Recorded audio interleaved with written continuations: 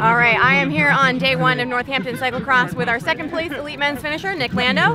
Nick, uh, talk to us a little bit about the race today. It was a crazy one out there with a big group dynamic and a bunch sprint, a lot of unusual things going on. So um, tell me how it played out.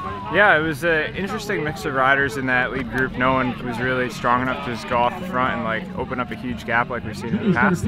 So it, you had to play it very tactically. Um, I was putting in a couple test attacks, and so was other people, and I was just kind of observing like where gaps would open up, where people were coming back, and basically figured out like it was going to come down to like a sprint starting from the end of the barriers. So was all about getting out of those quickly and getting on the gas as much as possible, and then just kind of committing and diving into the turns and taking a few chances.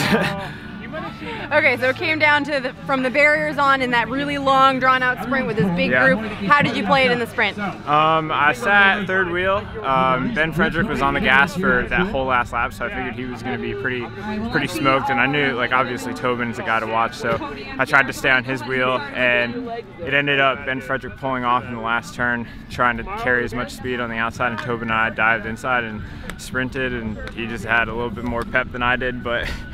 I'm happy with it. awesome. Well, congrats on a great finish today, and Thank we'll you. see you tomorrow. Thanks. Thanks.